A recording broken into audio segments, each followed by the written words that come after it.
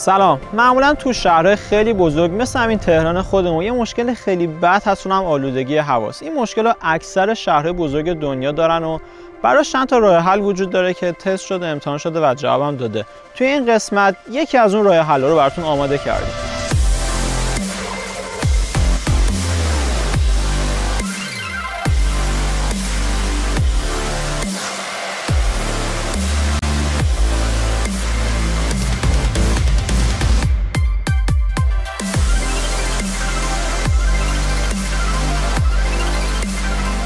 معمولا ماشین هیبریدی توی دنیا خیلی معروفن و زیاد استفاده میشن. اکثر شرکت های بزرگ هم چند تا مدل هیبریدی دارن. از فراری و مکلارن گرفته تا ماشین چینی. ولی اولین و بزرگترین تولید کننده ماشین هیبریدی توی دنیا تویوتا هستش که چند تا مدل خیلی معروف مثل پریوس داره که پریوس پرفروشترین هیبریدی دنیاست. ولی ما امروز پریوس رو نیاوردیم تویوتا کمری هیبریدی آوردیم. اگه دقت کرده باشین کمری هیبریدی تا الان با چهره دیگه میومد تو بازار. که اون مدلی که تا الان میامد محصول بازار آمریکا بود ولی بعد از برجام یکم روابط بهتر شده و الان تویوتا کمری هیبریدی محصول بازار آسیایی داره میاد توی بازار. جالبه که بدونین این کمری که به عنوان هیبرید قرار دیگه بیاد توی بازار ما تولید شده توی خود کشور ژاپنه. این مدل در سال 2014 تو نمایشگاه مسکو معرفی شده و مخصوص بازارهای آسیایی. قبل از اینکه بریم تستش بکنیم و بگیم اصلا ماشین هیبریدی یعنی چی بزنیم در مورد قیافش یکم صحبت بکنیم.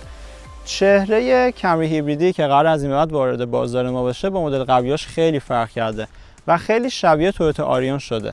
آریون هم توی بازار ما خیلی معروف و خیلی طرفدار رو می‌تونه واسه این ماشین یه پوان باشه. یه جالب بهتون بگم.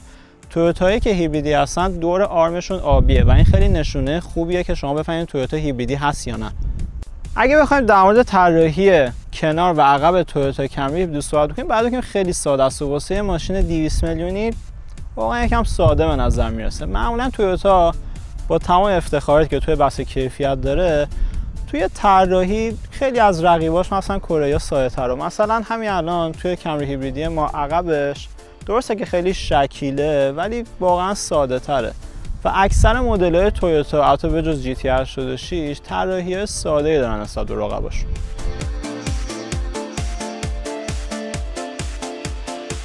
یه سری توضیح الان می‌خوام بهتون بدم که ممکنه برای خیلیاتون تکراری باشه. اینکه اصلا ماشین هیبریدی چیه و چه فرقی با ماشین بنزینی می‌کنه. یه ماشین هیبریدی مثل ماشین بنزینی یه موتور بنزینی داره ولی در کنارش یه موتور برقی هم داره. حالا این دوتا با هم چطوری کار می‌کنن؟ وقتی که سرعتتون کمه یا احتیاج به صرف انرژی خیلی زیادی ندارین موتور برقی میاد تو مدا ولی در مقابل اون موقعی که می‌خواین شتاب بگیرین و انرژی زیادی می‌خواین موتور بنزینی میاد توی مدا حتی خیلی ساده بود خیلی حالتهای مختلف دیگه هم داره. مثلا شما اگه بخواین از حد اکثر توان موتورتون استفاده بکنین این دوتا موتور هر دو با هم توی مدار کار می‌کنن. یه سوالی که اینجا مطرح میشه اینه که موتور برقی چجوری شارژ میشه؟ ببینید شما قرار نیست کاری بکنین که این موتور شارژ بشه. موقع هایی که مثلا موتور بنزینی داره کار می‌کنه یا دارین ترمز می‌کنین خودش از این نیرو استفاده می‌کنه و موتور برقی رو شارژ می‌کنه. توی پرانتز بهتون بگم بعضی هم ماشینا مثل BMW i8 plug-in hybrid ن. یعنی شما می‌تونید با یه وسیله مخصوصی این موتور برقی رو شارژ بکنید. مثلا شب رفتین خونه و بذارینش تا صبح شارژ بشه. همین توضیحات دادیم. حالا بیایم ببینیم که تویوتا کمری ما چه موتوری داره. تویوتا کمری موتور بنزینی که داره 4 سیلند 2.5 لیتری تنفس طبیعیه. یه موتور برقی 650 ولتی هم داره. موتور بنزینیش حدودا می‌تونه حد اکثر 160 از تولید بکنه. موتور برقیش هم حدودا می‌تونه 140 از تولید بکنه. ولی در نهایت حد اکثر توان تولیدی کل این موتور با هم حدود 205 اسبه. که از جمع اون دوتا کمتره چون پیک حد اکثر تولید توان این دوتا تو دوتا دور موتور مختلفن. هر دوشون توی یه دور حد اکثر توان ندارن. پس در نهایت شما یه تویوتا کمری هیبریدی دارین با توان تولید 200 اسب بخور. اولین باری که سوار تویوتا کمری جدید شدم واقعا خدا شکرم که بالاخره تویوتا این طراحی توش رو عوض کرد و واقعا بهتر شده. الان تمام محصولاتش از یاریس گرفته تا رفا لنکروز واقعا طراحی داخلیشون بهتر و خوب شده. الان هم کمری جدید خیلی همه چیز شیک و ساده و ارگونومی و علکی نیومده بزک بکنه توشو. یه چیزی بگم قبل از اینکه استارت بزنیم این که عملکرد ماشین هیبریدی با ماشین معمولی فرق می‌کنه. الان که می‌خوایم استارت بزنیم اگه باتری شارژ داشته باشه فقط یه چراغ روشن میشه و دور موتور یکم میاد بالا. اصلا هیچ تکونی نداره هیچ صدایی نیستش ولی ماشین روشنه. شما بدون هیچ صدا و تکونی می‌تونید شروع کنین حرکت کردن.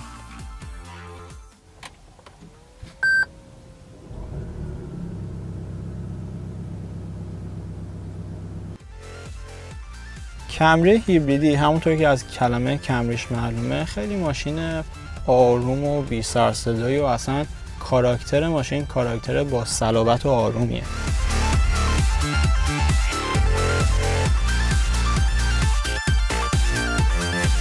ببینیم ماشینی که هدف تولیدش کم کردن مصرف سوخت و انرژی مشخصی که گیربکسش CVTه البته این مدل گیربکس ما قبلا توضیح داده بودیم ولی به صورت خلاصه این گیربکس ها دنده ندارن به صورت پیوستن. الان برین مثلا فیلم های قدیم و مثل هوندا CRV یا میتسوبیشی ASX رو نگاه بکنین موقعی که داره شتاب می‌گیره دور موتور رو ببینین اون حالت دنده عوض کردن نداره و میاد بالا میچسبه و به صورت متداول داره حد اکثر توان منتقل می‌کنه. تویوتا کمری هیبریدی گیربکس CVT اصلا یکم فرق می‌کنه و تویوتا بهش میگه ECVT فرقش هم اینه که میاد اطلاعات خیلی مختلفی رو از چرخها حالت رانندگی می‌گیره و میده به گیربکس تا عملکردش رو تنظیم بکنه. این الان ECVT که روی کمری هیبریدی هست یه نکته خیلی خوبی که داره اینه که اون تاخیر حرکت اولیه توی CVT های معمولی ها نداره و خیلی بهتر شتاب می‌گیره. در نهایت همه اینا شما یه ماشین 200 اسپی هیبریدی دارین گیربکسش هم CVTه و مصرف سوختش تنها 5 و دو دهم لیتر که خیلی خوبه.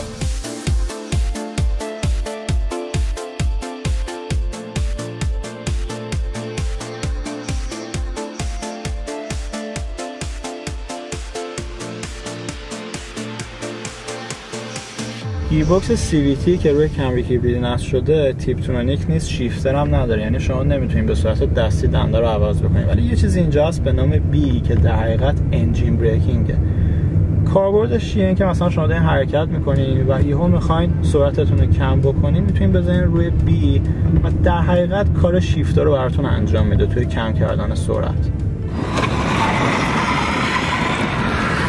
یه دکمه اینجا هستش به نام EV مود که بهتون اجازه میده که بیشتر با موتور برقی کار بکنید برای مسافت هایی که مثلا کمتر از دو کیلومتر یا سرعتتون زیر 40 کیلومتره. ببینید این مود به این معنی نیستش که شما اصلا از موتور بنزینی استفاده نکنید چون شما در نهایت یه موتور هیبریدی دارین. ولی دارین به ماشین فشار میارین که در صورت امکان بیشتر از موتور برقی استفاده بکنه. یه جایی یه چیزی میخوندم خیلی موثق نیستش ولی میگن که این ایوی مود بیشتر به رفتار ژاپنیا برمیگرده که خیلی براشون مهمه که مثلا وقتی شب دیر میان خونه بدون اینکه ماشینشون سر صدا بکنه همسایه‌هاشون رو بیدار بکنن بتونن برن ماشینشون پارک بکنن. و این ایوی مود رو برای اون مدل رفتار درست کردن.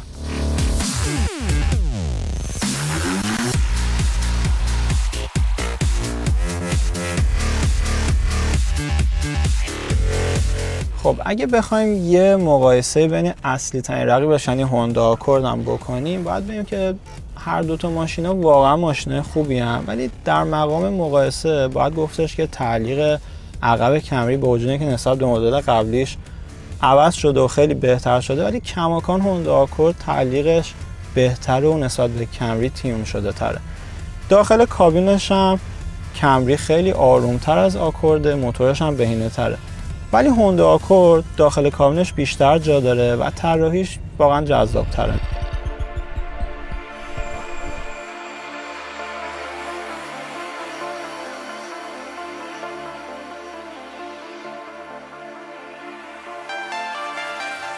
اگه بخوام از کیفیت داشبوردش هم بهتون بگم باید بگم که واقعا کیفیتش خوبه. تویوتا که خیلی نمیشه ازش ایرادی گرفت. حالا جز قیافش که یکم سلیقه‌ایه ولی داشبوردش واقعا خوبه. و یه چیز جالبی که توی تویوتا هستش اینه که اگه الان مثلا ببینید ماشین جدید خریدین و کیفیت داشبوردش اینه بعد از چند ده هزار کیلومتر دوباره کیفیت همینه و اصلا کابین صدا نمیده. و واقعا همین کیفیت تویوتا رو تویوتا کرده.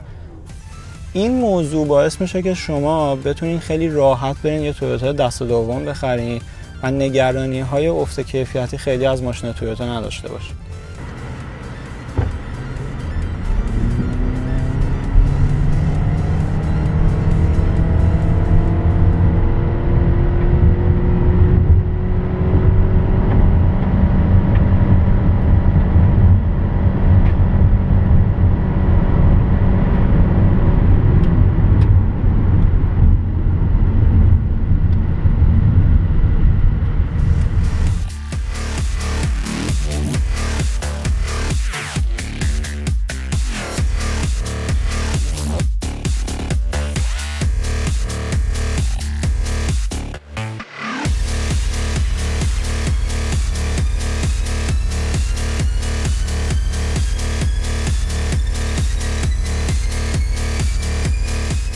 می‌خوایم الان یه تست جالب انجام بدیم. تویوتا کمری هیبریدی ما موتور 2.5 لیتری تنفس طبیعی داشت. یه موتور برقی هم داشت که جمعا حدود 200 از تولید می‌کنه و گیربکسش هم ECVT یه اپتیما آوردیم که همونطور که می‌دونیم موتور 4 سیلندر 2.5 لیتری تنفس طبیعی و گیربکسش هم 6 سرعت خودکار تیپ ترونیک حالا می‌خوایم یه درگ 400 متر بزنیم و ببینیم نتیجه چی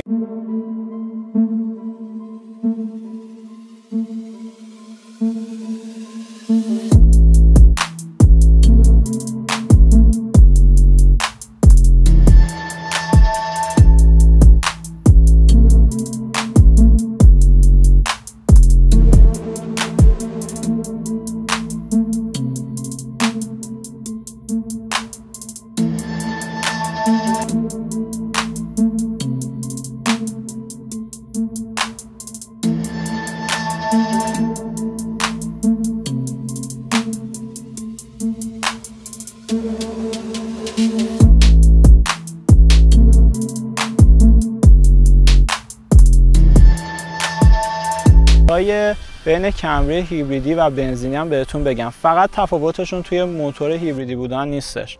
اینکه مثلا کمری هیبریدی تعلیق عقبش بهتر شده یا فرمونش اصلا یکم فرق کرد و هندلینگش بهتر شده. کابینش هم ایزوله تره ولی کمری هیبریدی یه ترمزی داره به نام ECB که ترمز قوی تریه نسبت به ترمزی که روی کمری بنزینی هستش.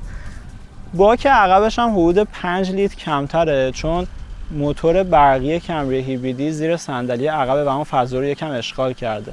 هم باکش حدود 5 لیتر کمتر شده حدود 65 لیتر هم حدود 150 کیلوگرم سنگین تره نسبت به کمری بنزینی. ببینید معمولا ماشین های هیبریدی قیمتشون خیلی گرونتر از ماشین های معمولی هن. الان یه سری تحصیلات برای ماشین هیبریدی گذاشتن که مردم ترغیب بشن برن این مدل ماشین ها رو بخرن. مثلا تعرفه گمرکش که حدود 40 50 درصد برای ماشین معمولیه. برای این ماشین حدود 4 درصده. ولی بقیه هزینه ها مثل خودروی فرسوده و اینا کماکان سر جاشه. لذا خیلی نباید توقع داشتش که قیمتش نجومی بیاد پایین. ولی لاقل الان قیمتش شده هم ردیف ماشین بنزینی معمولی. یه تحصیلات جالب دیگه که واسه ماشین هیبریدی گذاشتن اینه که شما این مدل ماشین رو بخرین بدون اینکه طرح ترافیک بخرین می‌تونین وارد تر بشین که خیلی جالبه. ببینید ماشین هیبریدی قطعا خوبن راه حل خوبی ولی به نظر می‌رسه کماکان کافی نیست این تحصیلات و شاید باید تو حمل و نقل عمومی بیشتر از این مدل ماشین استفاده بشه. خب برگردیم به ماشین خودمون. تویوتا کمری هیبریدی یه ماشین واقعا پیشرفته است. موتور خیلی بهونه و خوبی داره. موتورش قدرتمنده. کیفیتش که تویوتاس حرفی درش نیست. بازار دست دومش هم مثل تویوتای دیگه خوبن. ولی یکم قیافش واقعا ساده است. مخصوصا نسبت به کره اما به نظر می‌رسه اگه یه خانواده هستین و می‌خواین یه ماشین با کیفیت حدود 190 میلیون تومانی بخرین و برای بلند مدت می‌خواین از ماشینتون استفاده بکنید بدون که هیچ نگرانی و دردسری داشته باشین به نظر می‌رسه تویوتا کمری